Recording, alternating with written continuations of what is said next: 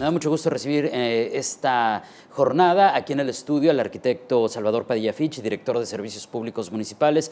Arquitecto, ¿cómo está? Muy buenos días, bienvenido. buenos días, David. Muchas gracias por tu invitación. Al contrario, gracias por acompañarnos una vez más. Eh, en esta ocasión, para rendir cuentas, se cumplen dos años de la actual administración municipal y en términos generales, eh, pues, ¿cuál es el panorama del área que, le corresponde, arquitecto?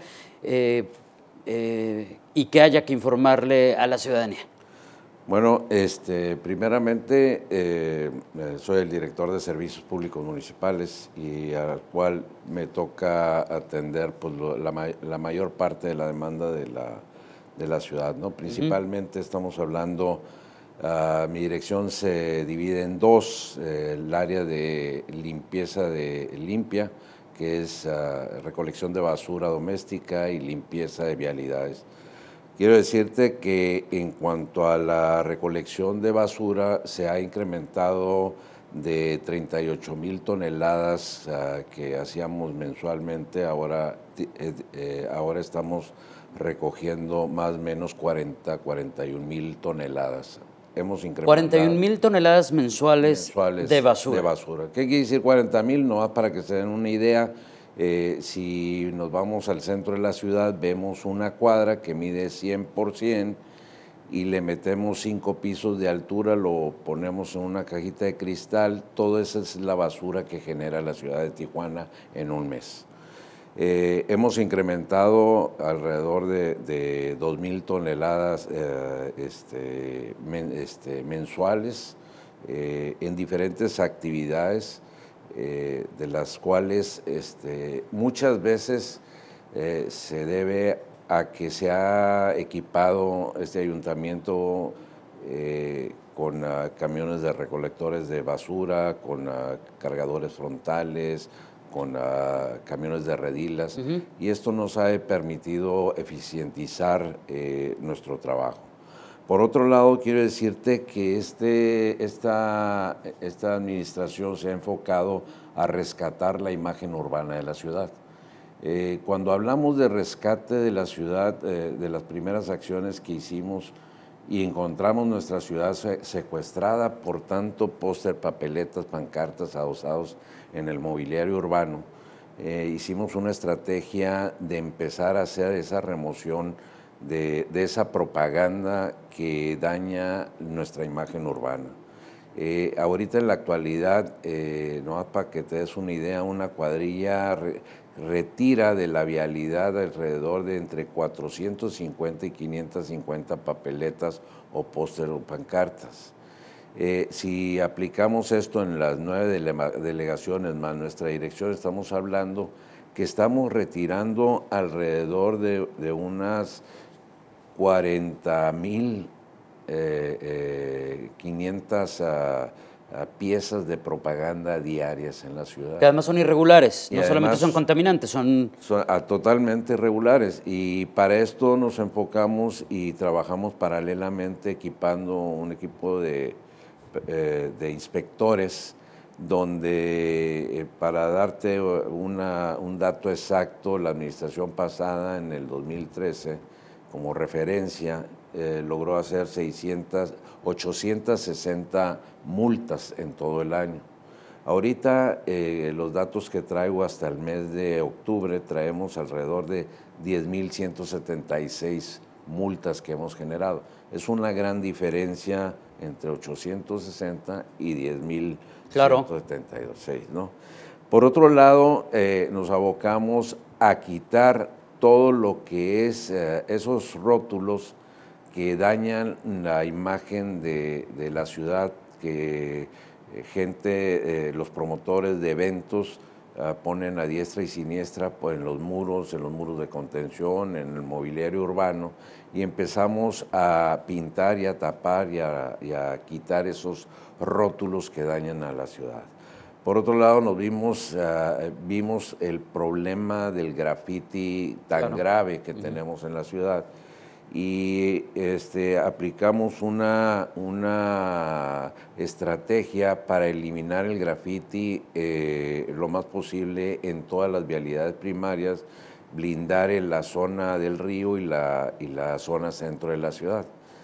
Eh, hemos tenido eh, en, cuestión de eliminación de graffiti, comparado con el año pasado, hicimos alrededor de 56 mil eh, metros cuadrados. Este año se incrementó al mes de octubre en 185 mil. O sea, hemos aumentado 229%. La gente se, se pregunta, algo está pasando aquí en Tijuana, ¿no? Es una tarea titánica, silenciosa, que poco a poco vamos avanzando en el rescate de, esa imagen que tanto queremos los tijuanenses y que, y que nos debemos a, eh, eh, tener un poco más de cariño, amor y esa identidad, eh, tener esa identidad en Tijuana. sabemos que, que también la ciudad requería de un señalamiento horizontal, vertical en todas las vialidades. Eh, hemos, hemos avanzado en, cuanto al señalamiento eh, horizontal en un millón doscientos mil metros lineales en, pintado de, de, vialidades este año, comparado contra el año pasado que hicimos 750 mil metros lineales.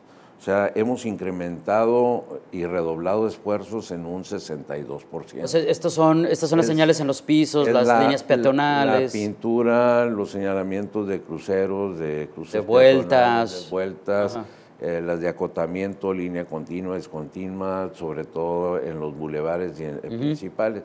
La gente se va a preguntar, bueno, ¿por qué ah, se aplica una pintura y luego se despinta, no?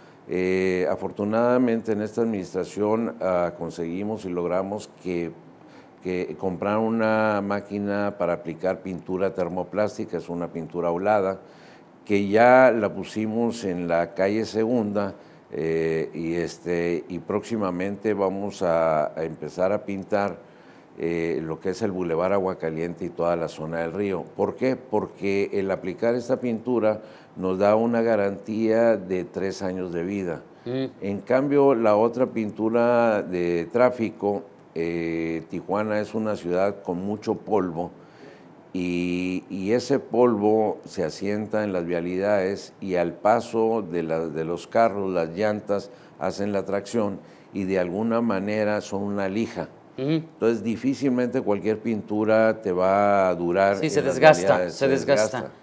Oye, arquitecto, ¿qué con el tema de, los basureros clandestinos? Algo que nos afectaba mucho, con el que estaban trabajando, eh, yo recuerdo, eh, lo platicamos alguna vez hace ya una buena cantidad de meses, seguía siendo un problema constante. Iban y, me contaban, ¿no? Iban, quitaban un basurero clandestino, alguien lo denunciaba, eh, se lograba algo y al ratito regresaba, ¿no? La gente volvía a, a poner su basura ahí. ¿Cómo va ese tema? Mira, ese es un tema que estamos eh, este, trabajando día a día, es una tarea grandísima, un enorme esfuerzo que estamos haciendo. Y además hemos aplicado y hemos tenido jornadas de limpieza de basura pesada, de, vialidades, donde hemos realizado a la fecha 17 jornadas de, limpieza donde hay voluntarios por parte del gobierno municipal y voluntarios ciudadanos. En este año, el, resumen total, andamos alrededor de 3.500 voluntarios que se presentaron los sábados de, de 8 de la mañana a 12 del día y alrededor de 7.100 eh, voluntarios ciudadanos. Esto nos da más o menos 10.600 uh, voluntarios en todo el año que hemos ah, ah, atendido eh, las zonas de las cañadas, los cañones, las vialidades, los parques eh, en nuestra ciudad. Esto, eh, si lo multiplicas, esa cantidad de 10.573 este, voluntarios por cuatro horas, estamos hablando de cerca de 40.500 horas aplicadas a la limpieza de la ciudad y eso en una forma voluntaria, sin formar parte del, de, las actividades y de la responsabilidad. Eh, te quiero decir que se han eh, limpiado 380 ah, vialidades, se han ah, arreglado y remozado y rehabilitado ocho parques, se han eh, eh, atendido 626 kilómetros con esta gente, se han removido propaganda, 35 mil piezas de propaganda en la ciudad en, cuanto a la aplicación de pintura para eh, quitar el graffiti en todas las colonias, hemos aplicado alrededor de 16.500 ah, metros cuadrados extras de lo que nosotros generamos. En cuanto a la recolección de basura, eh, eh, este, logramos hacer más de 1.100 mm. toneladas de basura recogidas por voluntarios en los fines ¿Qué, de semana. ¿qué, cifras, arquitecto? Es, es, es, tremendo. No sé si me las puede dejar para ponérselos en el portal a quienes nos ven y nos escuchan para que la, la, puedan ver a detalle. Este, lo voy a volver a invitar para que nos hable de otro tema que se nos queda sobre la mesa y que tiene que ver con la forestación, con las áreas verdes, que es otra área muy importante. Este, y creo que merecería también dedicarle una buena plática, porque por décadas creo que hemos hablado de la falta de, más áreas verdes en la ciudad. Por lo pronto se nos acaba el tiempo. Un mensaje final para despedirnos. Pues encantado de la vida. Este, más que nada agradecerles eh, esta oportunidad de estar con ustedes y, también decirles que nos hemos abocado a la iluminación de los monumentos de la ciudad. Hemos eh, atendido también las áreas verdes. Ahorita en época navideña pues decoramos las glorietas con Nochebuenas.